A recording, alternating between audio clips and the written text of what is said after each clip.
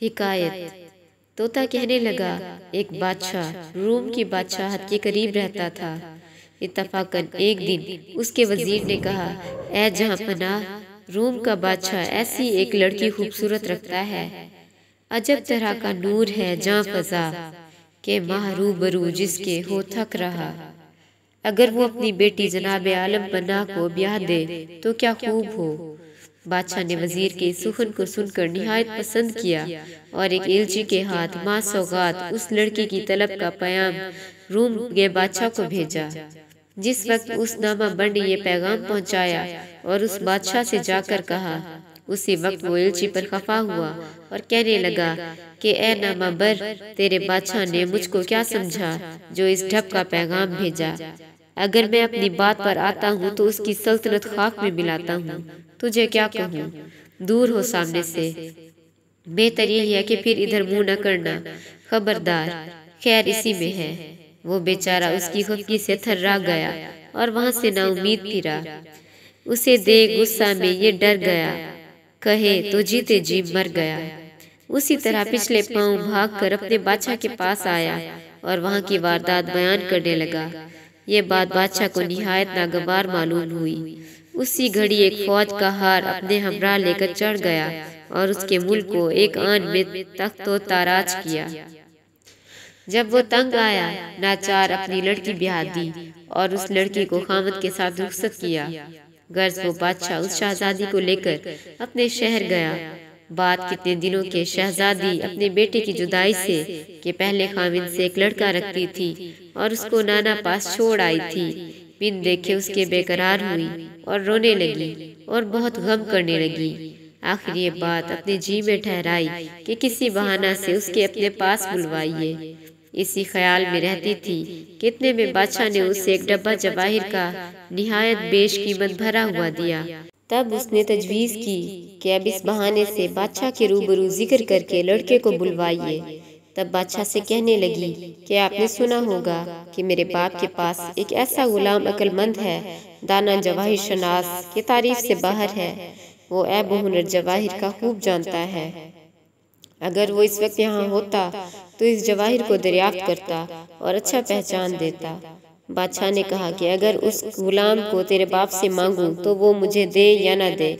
कहा बाबा जान ने उसको बचपन से फर्जंद की तरह परवरिश किया है अगर तुमको उसकी तमन्ना है और उससे बुलवाना मंजूर है तो एक सौदागर मैं अपनी तरफ़ से भेजूं और कुछ अपनी निशानी दूँ और बेहतरी का उम्मीदवार उस लड़के को करूँ तो इसी सबब से शायद जहाँ पना उसे भेज दें और वो खुशी से आवे।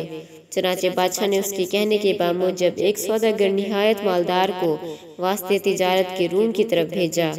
जिस वक्त वो ताजिर बादशाह से बामूजब फरमाने के माल उस पाप वास्ते सौदागरी के लेकर चला, उस वक्त शहजादी ने बादशाह से छुप कर कहा, ऐ सौदागर, वो लड़का गुलाम नहीं है, मेरा बेटा है, एक खत मेरा उसे दीजो।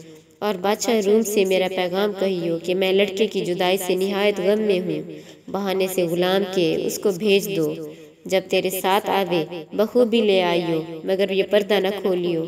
आखिरकार वो सौदागर गया और कितने दिन के बाद उस लड़के को ले आया और उस बादशाह के हवाले किया। बादशाह ने जो उस लड़के को खूबसूरत और हुनरमंद पाया तो निहायत खुश हुआ और उस ताजिर को एक खिलत फाखरा बख्शा और उस गुलाम को अपने पास रखा और माँ उसकी उसे दूर से देख लेती और उसके सलाम पयाम से अपना जी खुश करती। इतफाकन एक दिन बादशाह शिकार खेलने गया और शहजादी ने फुर्सत पाकर उस लड़के को महल में बुलवाकर अपने गले लगाया और उसका सर और मुँह चूमा और गुजिश्ता जुदाई का गम अपना उससे कहा। ये खबर खबरदारों ने उसी घड़ी बादशाह को पहुंचाई कि शहजादी ने जहाँ पना के पीछे इस गुलाम को महल में तलब किया और अपने बराबर बिठलाया। ये खबर वहशत असर सुनते ही बादशाह निहायत अपने जी में आजुरता हुआ और कहने लगा, ऐसी औरत से डरिए कि दीदे पर दीवार बनाती है। मकर करके अपने यार को रूम से बुलाया।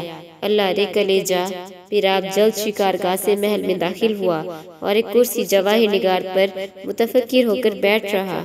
इस हालत में शहजादी ने जो बादशाह को देखा तो अपने फहम से दरियाफ्त किया और कहा कि आज मिजाज मुबारक पर मलाल मालूम होता है। ये क्या सबब है? तब बादशाह ने कहा क्या खूब तुम अपने माशूक को रूम से बुलवा कर मुझसे बेवफाई करो। ये क्या शोखी और बेशर्मी है? चाहता था कि उसे हलाक करे पर आशिक को माशूक को कब मार सके? फिर अपने जी में कहने लगा कि बीबी के बदले गुलाम को मारे। ये ठहरा कर एक जल्लाद को इशारा किया और कहा कि इसी घड़ी उसके सर को जुदा कर। ये सुनते ही उस लड़के को जल्लाद ने पकड़ा और कत्लगाह में उठला कर पूछा कि ए अजल गिरफ्ता तू जानता था कि बादशाह की बेगम है, उससे दोस्ती करूँगा तो क्यों कर बचूँगा? और तेरा कदम क्यों कर बढ़ा, जो तू महल बादशाही में गया? उसने कहा, तू ऐसी बात न कह, वो मेरी सगी माँ है। जब मेरा बाप फौत हुआ, तब उसने उससे शोहर किया और मारे शर्म के मेरा अहवाल उससे न कहा। मैं झूठ न कहूँगा, मार या छोड़। काबू में हूँ मैं तेरे, गो अब जिया तो फिर क्या? खंजर तले किसी ने टुक दम लिया तो फिर क्या?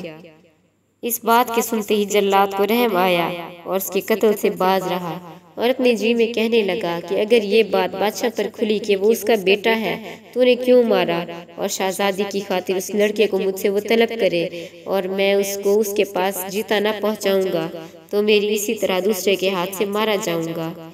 इस अंदेशा को दिल में जगा देकर बादशाह से अर्ज़ की जहाँ पना सलामत उस कुश्तनी को वहाँ जाके मारूँगा, जहाँ पानी का नाम भी न होगा। गर्ज इस बहाने से वो उसको बादशाह से लेकर अपने घर गया और छुपा रखा। बाद दो दिन के बादशाह की जनाब में अर्ज़ की, आलम पना सलामत। उसका सर कदम मुबारक पर निसार हुआ। बारिश बात के सुनते ही थोड़ी सी आतिश में बादशाह की ठंडी हुई। पर शहजादी का एतवार उठ गया और उसकी कोख में और भी मोहब्बत की आग बढ़ गई। कलेजा पकड़ माँ तो बस रह गई। कली की तरह से बेकस रह गई। बेख्तियार होकर जी से कहने लगी ये क्या हुआ? इधर बेटा मुआ उधर खामन छूटा। कजायकार एक दिन बुढ़िया जो उसके महल में रहती थी उसने पूछा ए बीबी इस जवानी पर ये किसका गम खाती है? जो इस तरह से आठों पहर मसनत पर मुँह ढांप के पड़ी रहती है। तब उसने सारा अहवाल उससे कहा कि क्या माजरा मुझ पर गुजरा। उसने अर्ज़ की ऐ शहजादी, खातिर जमा रख। मैं एक बहाने से तेरे बादशाह को तुझ पर मेहरबान कर दूँगी और महल में ले आऊँगी। शहजादी ने कहा ए मादरे मेहरबान, अगर इस दर्द की दवा करेगी तो मैं तेरे दामन और जेब को जवाहिर से भर दूँगी। आखिरकार, एक दिन उस पीरजाल ने बादशाह को तनहा देकर पूछा ए शहनशाह, मैं तुझे कुछ और दिनों से आज दुबला देखती हूँ। क्यों वारी जाऊँ? खैर तो है। तुझे नित रखे खुश मेरा गर्दगार तेरी इस जवानी पे बुढ़िया निसार।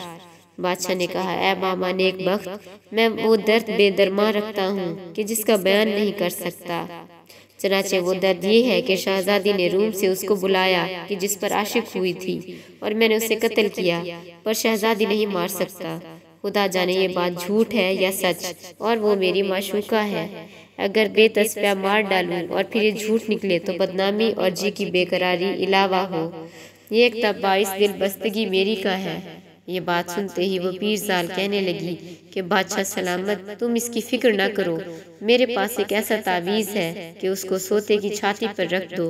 वो अपना सब जी का अहवाल खुद ब खुद कह दे। सो वो नक्श में तुम्हें लिख देती हूँ। तुम शहजादी पर धर देखो उसके जी में जो होगा सो सब आपसे आप कह देगी बादशाह ने कहा कि तावीज़ जल्द ला। बुढ़िया ने वो तावीज़ उसी घड़ी बादशाह को ला कर दिया। और आप शहजादी के पास जाकर कहा कि आज तू सरे शाम झूठ मूठ सो रही हो। ए मलका जिस वक्त बादशाह तुझ पर तावीज़ रखे तू उसी वक्त सोतों की तरह से जो तेरा अहवाल ठीक हो सो बखूबी कह देना। हासिल कलाम जब पहरे रात गई बादशाह ने उस नक्श को बादशाह जादी पर जू ही रखा वहीं उसने अपने खामद से पहले खामिद का और उस लड़के का अहवाल एक एक कह दिया बादशाह ने जो ये बात सुनी, उसे जगा कर निहायत मेहरबानी से कहा कि किस वास्ते ये राज पहले ही मुझसे न कहा। वो घबरा कर बोली, मैंने कौन सी बात छुपाई है? बादशाह ने कहा कि वो तेरा सगा बेटा था, तूने गुलाम क्यों बतलाया? तब उसने आँखें नीचे करके अर्ज़ की कि मुझे शर्म मालूम होती है। कहती क्यों कर? ये सुनते ही बादशाह उसी घड़ी उस जल्लाद को बुलाकर कहा कि जल्दी उस लड़के को मेरे पास ले आ। अगर मार डाला है तो उसकी गोर कहाँ है? बतला। उसने कहा जहाँ पना। मैंने उसे ताहाल नहीं मारा। वो खुदा के फजल से जीता जागता मौजूद है। ये बात सुनते ही बादशाह नहायत खुश हुआ और उसी वक्त लड़के को बुलवा कर उसकी माँ के हवाले किया।